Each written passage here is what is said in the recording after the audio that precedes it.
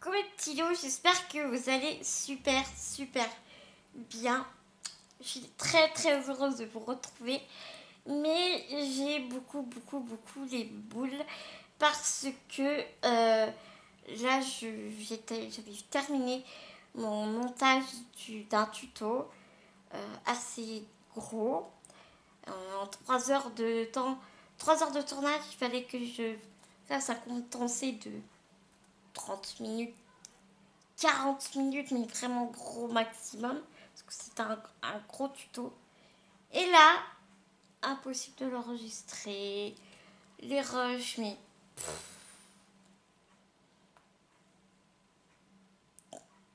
Tout ce que j'avais fait, tout est parti, enfin... En live, enfin voilà quoi, tout... Euh, problème informatique, ça me disait que certains rushs, j'avais je les avais supprimés, déplacés, enfin je sais pas quoi. Enfin bref, je comprends rien du tout. Ça fait trois fois que je recommence le truc. Et ça veut toujours pas. Donc à un moment dans la vie, hein, quand ça veut pas, ça veut pas, ça sert à rien de forcer. Donc je vais vous expliquer, mais vraiment, je vais essayer de vous détailler le plus possible de ce que j'ai fait. Et si vous avez des questions à me poser, des choses que je pourrais mal expliquer. Surtout, n'hésitez pas de me, poser des questions en commentaire sur mon Insta. Euh, vous avez mon mail. Enfin, n'hésitez surtout pas à me contacter. Tout d'abord, voilà la créa. Voilà la créa. Ça s'appelle un ramka. C'est un support qui, euh, dont la marque est Skinpart. Vous savez comme je suis en amour de cette marque. Je l'ai eu dans un des kits de la Creative Craft Academy Box. T'as vu comme on se dit trop bien. Et voilà, ça faisait un moment que je voulais le faire, mais comme je ne me sentais pas assez prête et je n'avais pas assez confiance en moi encore pour m'attaquer à ce genre de support. Bah voilà quoi, ça m'aurait vraiment très embêté de le rater. Donc je vais vous expliquer étape par étape ce que j'ai fait, tout ça et tout ça et tout ça. Le ramka, je l'ai eu dans une grande pochette transparente complètement démontée. En fait, j'ai eu le rond ici. Le contour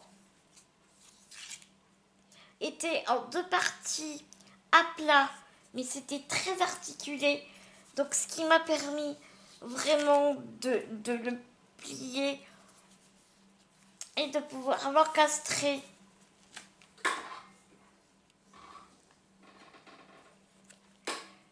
dans les petits trous rectangulaires mis à ce qu'il fait. Tout simplement, c'est un MDF. Donc euh, voilà, tu n'as juste qu'à euh, embriquer euh, les pièces dans, les, dans les trous ici. Une fois que j'ai fait ça, j'ai tout, j'ai sauté.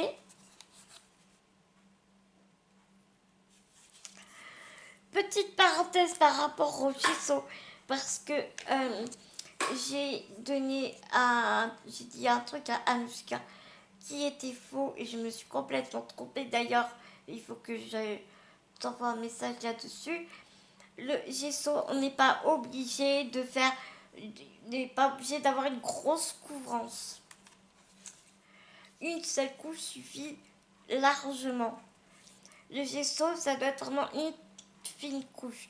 T'as pas besoin d'avoir énormément de couvrance si le support est neutre, s'il n'y a, rien dessus, si le support est vierge, qu'il n'y a, rien d'autre euh, en dessous, t'as pas besoin d'avoir euh, une forte une, couche épaisse. Par contre, si tu veux euh, recouvrir quelque chose, voilà, un truc que tu déjà imprimé et que tu veux recouvrir, là oui, effectivement, tu mets plusieurs couches pour vraiment bien couvrir et qu'il y ait une couvrance importante. Là, ce n'est pas le cas. Donc, tu vois, euh, même si c'est transparent, euh, le gesso, tu vois, en dessous, c'est vraiment pas grave. Le gesso, c'est pour préparer le support à accueillir des matières, des matières, des peintures, voilà, de diverses et variées. Une fois que j'ai tout, sauté. Dans le kit, j'avais de la Velvet Paste. C'est un pigment euh, silver argenté mélangé à du gel médium. Il s'est avéré que maman, depuis le temps que j'avais mon, mon truc, ça s'est périmé, ça s'est complètement durci. Enfin, donc voilà, j'ai dû le jeter.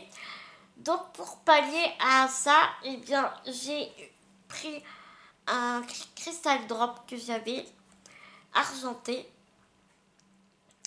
et j'ai badigeonné mon cristal drop tout au fond tout au de mon support. Le cristal drop, c'est pour faire des enamel dots. Donc forcément, la matière est épaisse et assez consistante. Donc pour étaler, c'est la croix la bannière, c'est pas fait pour étaler, c'est pas pour, euh, euh, utiliser comme de la peinture. Donc c'était vraiment très galère à étaler. Donc j'ai vaporisé de l'eau dedans pour que ça soit plus simple et plus que la matière soit plus plutôt si à manier. N'arrivant, ayant beaucoup de difficultés à étaler, c'était voilà, très compliqué. Ce que j'ai fait, c'est qu'avec mon pinceau, j'ai tapoté tout le fond de tout le fond de mon support, de mon de mon cercle. Ensuite, une fois que j'ai fait ça, j'ai pris mon pigment vert.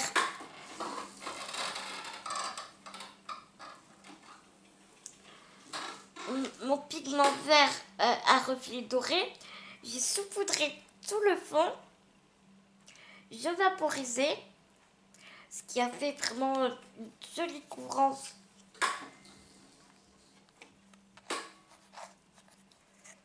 Comme tu vois ici au fond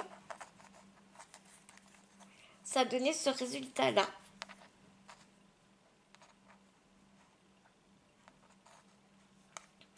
Mais comme moi je voulais encore plus de reflets, j'ai pris mon mécamiste en spray de chez Nouveau. J'en ai cité partout dans le fond, pareil. Là, j'ai pu bien étaler et j'ai séché. Bien évidemment, à chaque euh, de, mon, de toutes les explications, je sèche au hit gun à chaque fois. Ensuite, je voulais vraiment de la clarté, je voulais que ça pète à l'œil. J'ai pris des pigments dorés que j'ai que j'ai saupoudré au fond. J'ai vaporisé tout ça pour que ça aille bien partout. Ensuite, j'ai séché au gun. Mon fond étant terminé. Et ça, j'ai eu ce résultat. Exactement la même chose que sur les feuilles. Là, tu peux voir dans le fond, tu peux deviner, euh, tu peux deviner, ça fait vraiment super bien. Ensuite, j'y ai collé, genre je sais pas vraiment si tu vas bien voir dans le fond, fond, fond. J'y ai collé de la dentelle, ici, là.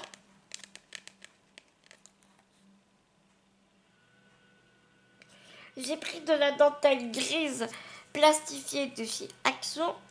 J'ai mis des bandes de dentelle au fond que j'ai collées à l'aide de mon super ami mon pistolet à colle chaude.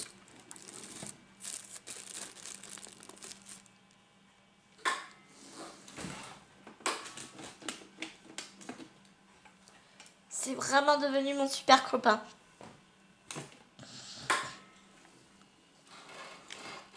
Une fois que j'ai posé la dentelle, j'avais de la mousse avec le kit. On avait de la mousse comme ça. Pas de la mousse comme de la mais beaucoup plus épaisse. Et des imitations de branches là. Comme tu vois, comme j'ai torsadé le, la petite fiole. Pareil, j'en ai vraiment disposé dans le fond de mon, de mon support. J'en ai collé avec mon pistolet à colle chaude.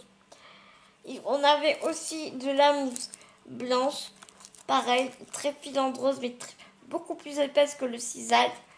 Pareil, j'ai collé ça au fond avec mon pistolet à colle chaude. Une fois fait ça, j'ai commencé à mettre mes embellissements. Ici, j'ai mis des petits déchirboards qui étaient avec aussi chez Snip Art, qui étaient avec le mon kit. Et j'ai peint avec une peinture euh, cuivrée,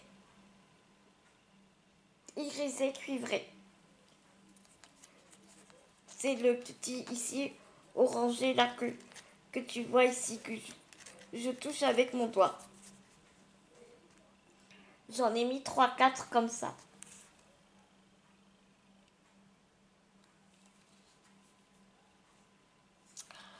Ensuite, nous avions des badges. Nous avions des, des, badges, mais c'est pas des badges, ça s'appelle des... Je ne sais plus. Je ne sais plus comment ça s'appelle. Avec un bombé comme ça.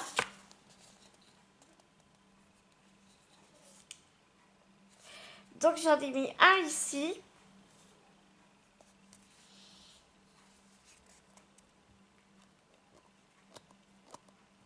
Et j'en ai mis un autre ici. À la base, j'en avais plusieurs, mais comme je ne les trouvais pas, du coup, j'en ai mis un autre. J'ai fait toutes mes boîtes. Impossible de le trouver. Donc, du coup, j'en ai mis un qui me plaisait dans les tons marronnés, qui allaient bien ensemble. Donc, voilà, j'ai mis euh, des cabochons. C'est ça. C'est des cabochons. Des gros cabochons comme ça.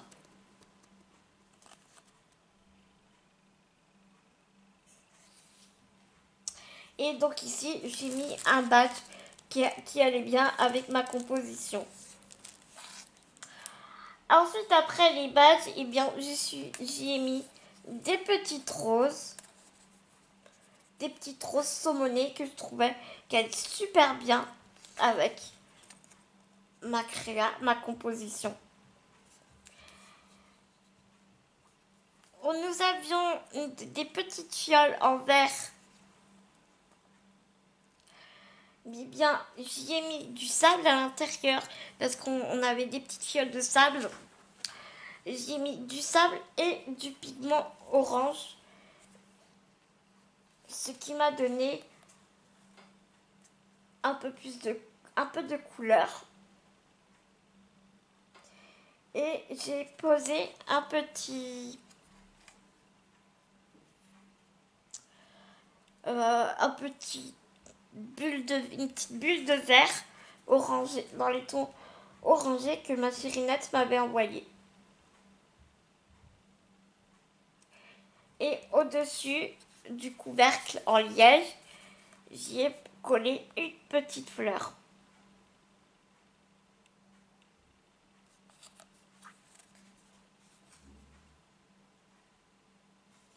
Ah oui, c'est vrai que j'avais mis une petite rose, une petite rose fuchsia ici aussi.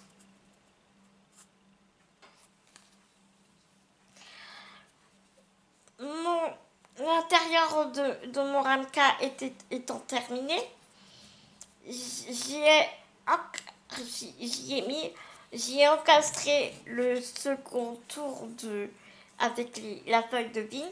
C'est parce que ça, c'était en, en deux morceaux, en fait, que tu collais l'un sur l'autre. Et c'était encastré dans des picots, exactement pareil qu'ici.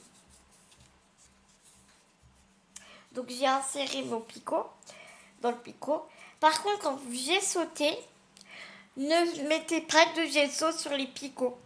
Après, c'est une galère en encastrer. C'est même pas possible. Surtout, surtout, ne mettez pas de peinture ni de gesso ni quoi que ce soit sur les picots. Parce que après, c'est impossible à encastrer. C'est pas que c'est impossible, mais j'ai galéré comme pas possible pour encastrer euh, bah, mes différentes parties. D'ailleurs, je l'ai pété en deux. Le contour, je l'ai pété en deux. C'est tellement fragile, tellement flexible. Et bon, ça va, j'ai recollé. Et on regarde, ça se voit même. Ça se voit, ça se voit vraiment plus du tout. Et donc, pour toutes les, les feuilles de mon Ramka, j'ai utilisé cette petite peinture là que j'avais acheté chez Nose à 79 centimes. franchement, elle est géniale, elle est super couvrante et tout. Elle est vraiment au top.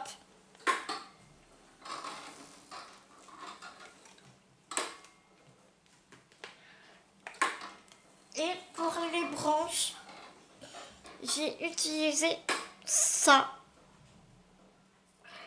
La colle, la colle, n'importe quoi. La peinture de chez Action qui est pourrie. Tellement pas pigmentée. Mais n'achetez pas la peinture Action. Elle est vraiment nulle de chez nulle.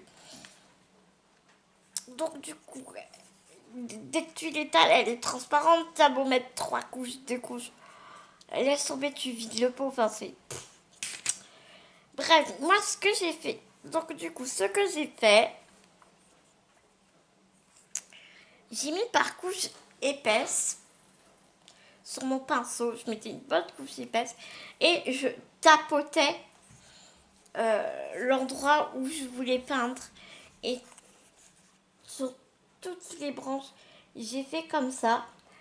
Et j'ai donc séché ensuite au It's Gun et ça a super bien fonctionné. Alors je n'explique pas, mais quand je séchais, je remarquais que du coup, c'était beaucoup. La peinture devenait vraiment beaucoup plus opaque.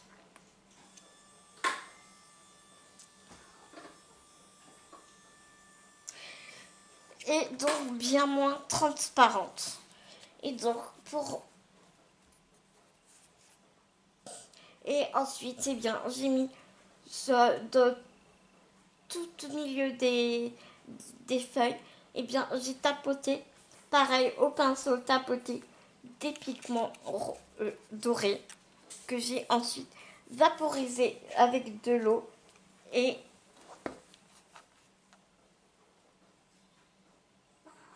et euh, voilà et j'ai séché au It donc tu vas me dire pourquoi est-ce que tu l'as pas fait cette feuille-là Parce que on est toujours dans mon concours euh, que j'ai que j'ai ouvert. Hein. On est toujours. Alors n'hésitez pas à venir participer, mes petits loups. On n'est pas beaucoup. Vous avez jusqu'au 11 mai. Alors venez nombreux, mes petits loups. Venez participer à mon concours Mixed Media. Sur le thème, je l'ai intitulé sur le thème de l'amitié et le partage, n'importe quel euh, euh, support, même, même de la carterie, vous pouvez faire de la carterie en mixte média. Vraiment, éclatez-vous, amusez-vous. Et euh, le truc, c'est que vous m'envoyez, une fois que vous avez une fois que vous avez fait votre création, vous m'envoyez un mail avec la photo de votre création. Et à la fin du concours, lors du tirage au sort, je prendrai toutes les photos que vous m'avez envoyées, je ferai un petit film avec et c'est ainsi que je vous montrerai vos créations comme forcément Covid-19 la poste on peut pas envoyer tous les, les, choses donc je me suis dit servons-nous de la nouvelle technologie servons-nous de ma boîte mail et bien voilà vous m'envoyez votre créa en photo sur ma boîte mail et lors du tirage au sort, moi je fais un montage de, toutes vos créations. Je ferai un petit film et euh, voilà, euh, je ferai ensuite le tirage au sort. Et donc c'est dans ce dans cette pensée que j'ai fait mon ramka.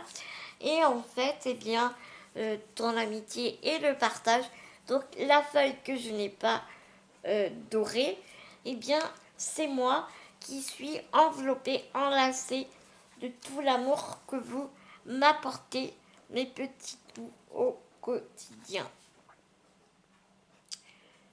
Donc voilà ma création que j'ai terminée. Je suis vraiment encore une fois désolée de ne pas avoir pu faire euh, ce tuto. Vraiment, je comprends pas. Je, je réessayerai encore et encore. Et bah, si je peux le mettre, bah, je le mettrai en ligne. Mais bon, là, je comprends pas pourquoi. Il est temps pour moi, en tout cas, de vous faire des gros, gros, gros bisous. J'espère que vous aurez apprécié ma petite vidéo, malgré que ce ne soit pas un tuto. Je vous embrasse très, très fort. Prenez soin de vous.